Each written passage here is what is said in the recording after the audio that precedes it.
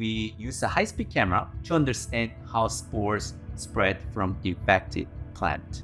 I'm Sunny Jung. I'm a, a professor at Cornell University. I'm a biophysicist working on the fluid flow around animals and plants. Like for example, how cats drink water or how dogs drink water, and also how bird dives in water. In this study, we look at how the plant literally coughing or shedding the spores off from the plant leaves. As you can see, due to the raindrop impact, this leaf flutters up and down. The particles are accumulate at the edge of this vortex. So that's why you're gonna see nice mushroom shape of the particles. Leaf is very flexible, then it will flutter up and down very fast.